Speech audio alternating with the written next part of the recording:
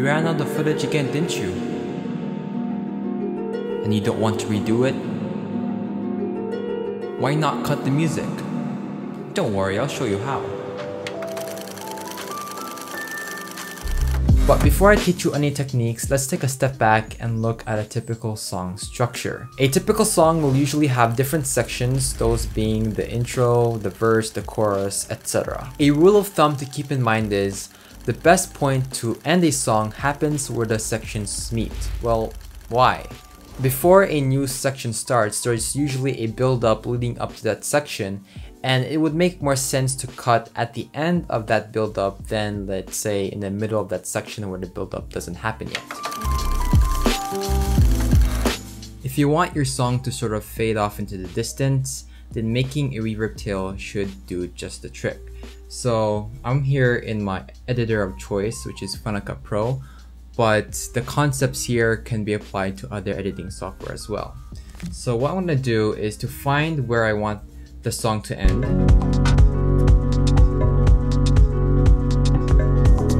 Alright, so right about here should do the trick. And when you find it, what you want to do is to hit Shift H on your keyboard and that should hold the audio. You want to hold the audio because that allows time for the reverb to ring out if that makes any sense. So after that, I'm just gonna make this longer over here and trim off the uh, excess over here. And then after that, I'll go into my effects and search up for the plugin AU Matrix Reverb right there. And I'll drag it onto our clip. Next, go into your clip properties and then under AU Matrix Reverb, select Cathedral. I mean, you could select any preset, but I like Cathedral the best. And over here under the parameters, this dry wet mix slider, you want to drag it all the way down and go, let's say a few frames before the music stops. And you want to keyframe it to go around 50% when the music ends. So 50%. And that should sound like this.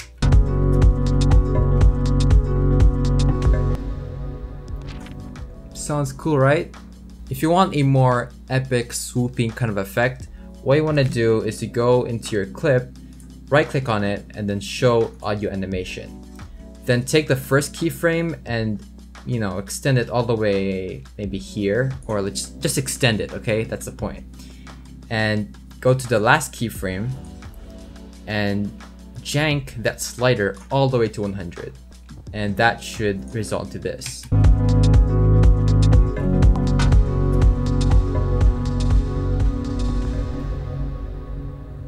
Sounds so cool. Another way I like to end my songs is by using what's called a low pass filter. So going back to Final Cut Pro, I'm gonna look for the spot I want to end the song, which is over here. And then I'm gonna go a few frames after that and trim the song. After that, what I want to do is to go into my search bar for the effects and search in AU low pass filter. Okay, here it is. What I want to do is to drag it onto your clip, then go to the clip properties, go to parameters, then see where it says cutoff frequency, you're gonna jank it all the way up.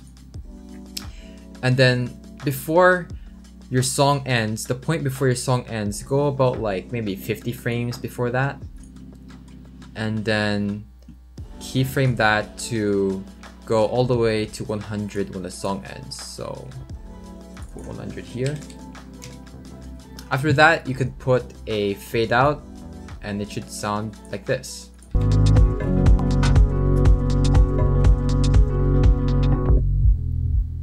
I'm going to adjust the ending so that it ends quicker.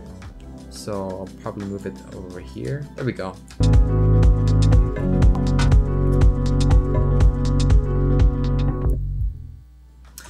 So that's how you do it. Since it's kind of a weird way to end a song, you probably want to use the low pass filter when you have a transition of, let's say, going underwater, or maybe when the camera pans into the ground or something like that. I don't know, you pick, you choose. Another way you can end a song, and by the way, this is my favorite technique, is by taking the outro part of the song and replacing it with, let's say, the verse after the chorus. You would want to do this at the end of a section, such as the chorus right before the verse, because if you try to splice the outro like say in the middle of the chorus or maybe in the middle of the verse, it's not gonna sound as seamless. So going into our editor, what I'll usually do is to find where the first beat of the outro happens. So let me do that right now. I think this is it. So all you should do is I'll trim just before that and go back to where we want that outro to come in, which is right over here. Um, and then trim that too. Then I'll delete the space in between. And this is what it sounds like. And it doesn't sound very good, but don't worry. What you want to do now is to put the outro part under this first clip. And what you want to do is to try to align it so it sounds seamless. And I think we got it the first shot. So what we want to do now is to make a crossfade.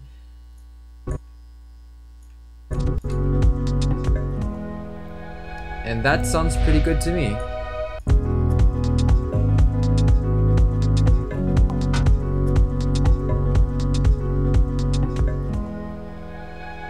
That's how you do it. Simple as that. Alright, that's enough for this angle. Let's go back to the main angle. And that, boys and girls, is how you end a song. If you guys did learn from this video, scroll down, you know exactly what to do. If you have any questions, please let me know and I'll try to answer to the best of my ability. And thanks for watching this video. School just ended and I have a lot more time to make videos in the coming weeks. So stay tuned and I'll see you in the next one. Bye.